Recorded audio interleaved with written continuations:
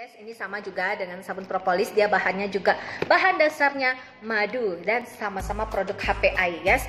Nah, untuk kita yang sudah berumur 20 tahun ke atas atau 25 tahun ke atas ya, pokoknya udah umur 25 tahun ke atas saya sarankan rajin-rajin lah menggunakan sabun kolagen ini ya, apalagi yang udah 40 50 ke atas. Nah, karena ini bisa mengencangkan juga kulit wajah kita ya uh, bisa menambah memperbaiki kolagen-kolagen yang ada di dalam kulit-kulit kita karena faktor umur dan faktor lingkungan sekitar yang kurang baik ya, faktor debu-debu dan lainnya.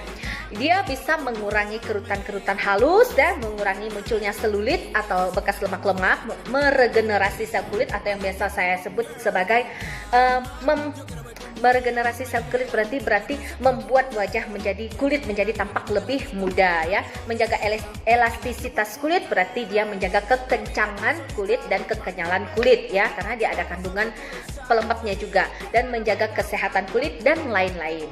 Oke guys, berikutnya saya sambung dengan